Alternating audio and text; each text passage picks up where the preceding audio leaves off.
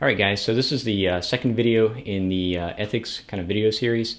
And in this video, we're going to cover the, the, the, questions that you'll see that have those question marks of kind of like what would you tell a patient, what would be the most appropriate uh, kind of comment back to them.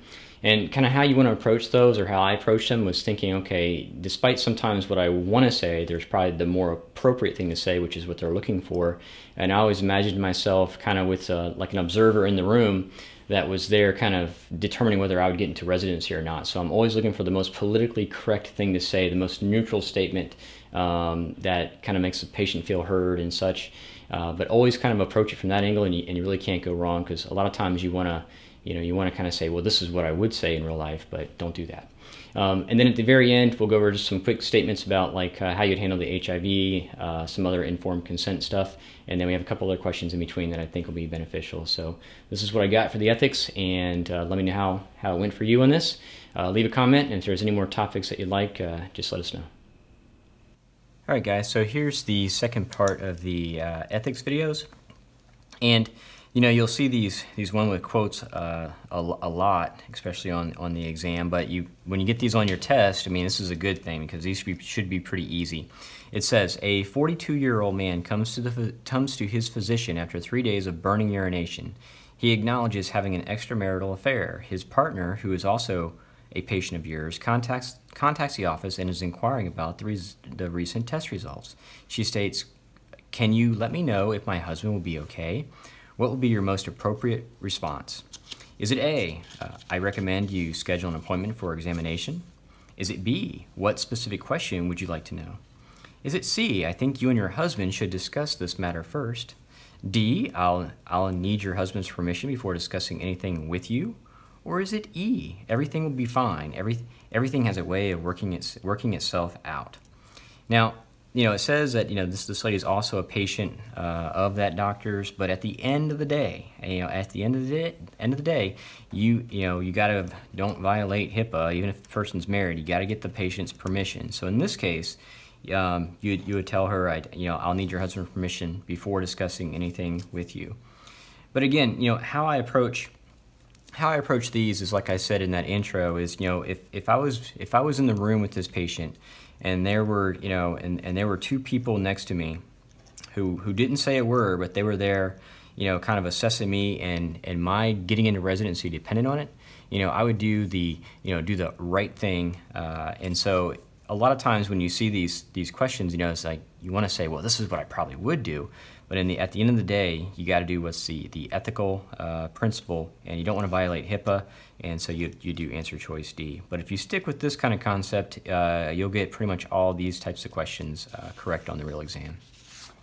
This one says, an 84-year-old woman hospitalized for two days with diabetic ketoacidosis now refuses insulin injections. She feels that her medical state has deteriorated to the point where she wishes no longer to keep going. She is essentially blind and will most likely require bilateral leg amputations. She used to be a dancer and does not see happiness in her current state. Psychiatric consultation was placed and patient has capacity of, of, uh, of about refusing care. She states, my mind is made up. Which of the following is the most appropriate next step in the patient's care? Now, you know, a lot of this stuff when they say what's the next step, you know, that's kind of a, you know, a lot of times step you know, step two is really big. Step two and three are really big, and you know, what's the next step of care? But when it comes to these ethics questions, you know, this kind of applies to even step one. So you have this really old lady.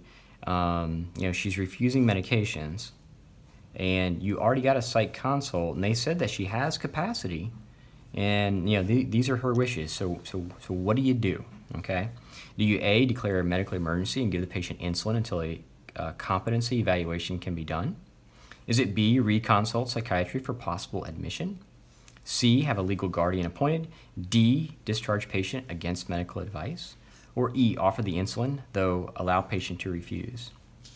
Well, whenever you see the word, again, competency, is, this has nothing to do with the physician. That is going to be a legal term and only a, oops, only a judge can determine that. So when I see this word, I don't get too excited at all on any of my answer choices.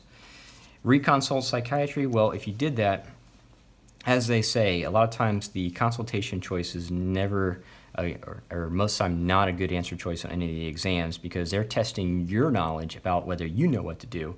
You're not going to say reconsult uh, per se somebody as a next step in the treatment, unless you know, unless you were getting a capacity. But the capacity was already done, so you know she's not crazy because they've already said that she has the ability to make an informed decision. So it's not going to be that guy. Have a legal guardian appointed. Again, you wouldn't you wouldn't get this if the patient has the capacity. Discharge patient against medical advice. Well, you know, it's not like you're just going to, again, this goes back to what's the right thing to do. Uh, e, offer insulin that allow the patient to refuse. It's like you're still doing the right thing, and then she has a choice. And as long as you can document that she has the capacity to make that choice, I mean, that's the, that's the key piece of this whole puzzle right there, that she has the capacity. So as long as she has that, you can, the right thing to do is to offer it and then allow her to refuse it. So be answer choice E, okay? But look for the capacity, and then again, go back to you got to do do what the right thing is, and I always do that little that thing of just if I had two people with me who didn't who determined whether I got into residency or not, and they didn't say a word, I'd be on my you know best behavior, and I would always do the do the right thing. This one says a 32-year-old female who was a frequent flyer to your primary care office with 10 visits over the past three months with a multitude of complaints. Current concern is low back pain. She reports that that pain that the pain has been ongoing for the past three days. Lab work as well as physical findings on neurological orthopedic examination are unremarkable. She has no history of other any other major illnesses.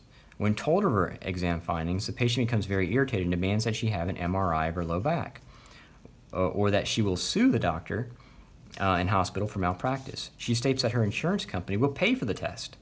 The patient requests the physician to order an MRI and that you document data that would support the testing. Which, which of the following is the most appropriate action of the physician?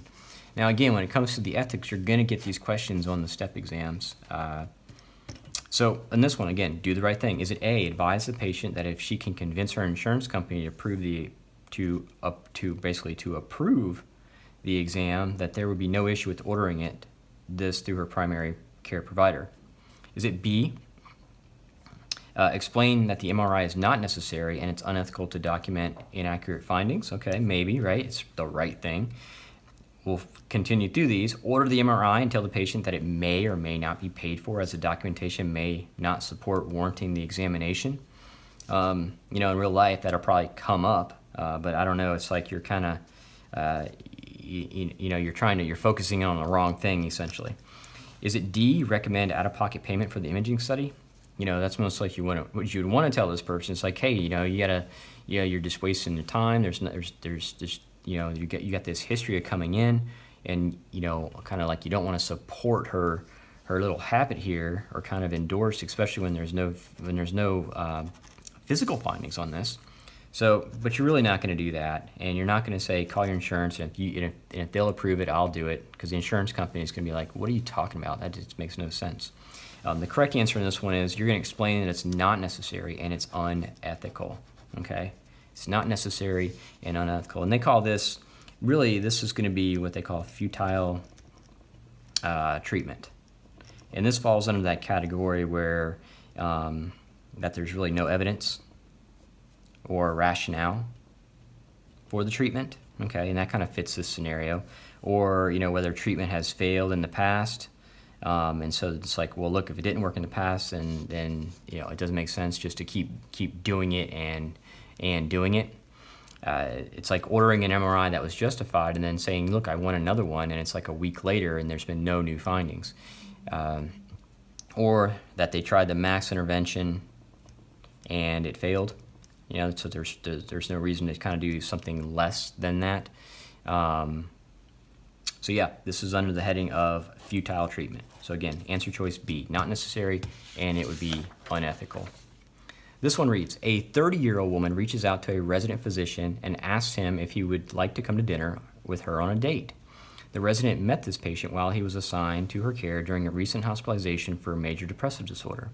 I say recent, but it has been 10 months since the admission. The uh, resident did not reach out or initiate contact with this patient, which of the following is the most appropriate action by the resident physician regarding the patient's dinner invitation? Okay, so this goes in the, into the whole thing of the doctor, you know, patient, and when I say relationship, it's the outside the hospital relationship, if there is one or if there can be one.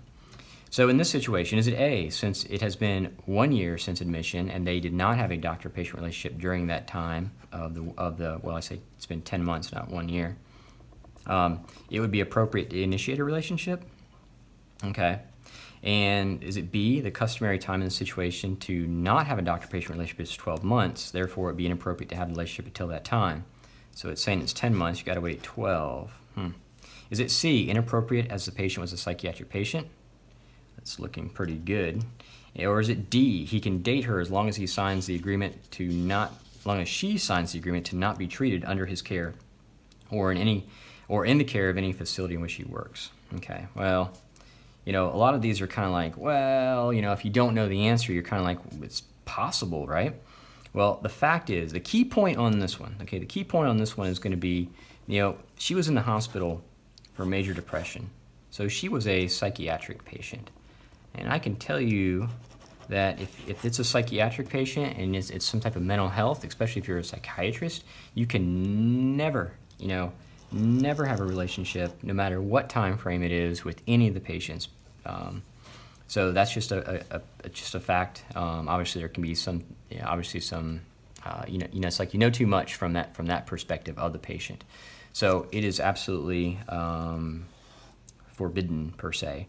Now, uh, there's some literature out there that says if you're not, if you were in a, in a different field, you have to, you know, if this didn't say that she was um, a, a, psychiatric patient, I think the, you know, kind of the theme that's been out there is, and I say theme, it's the stuff that's in, in the study guides, is that you have to end the relationship. It has to be established that, the, that there is no doctor-patient relationship and that has ended, um, and then you could, uh, you know, proceed. And I, I, do not believe there is a time frame. If someone knows anything different, put it in the comment section, and, and if I check it and it's accurate, I'll put it as a pin up top. But if it's a psychiatric patient, the answer is never, never, never. Um, if it's uh, a non-psychiatric patient, you have to end the doctor-patient relationship uh, firmly established. Okay? And then this one says, 37-year-old man returns to his orthopedist for follow-up examination. Approximately six months ago, he underwent repair for ligament damage to his knee. After recent exercise routine, the patient injured his knee and re-injured toward the ligament. The patient is upset and feels that the physician did not do a good job during the original procedure. Which of the following is the most likely precipitating factor in this patient's decision to file a mal malpractice so malpractice lawsuit?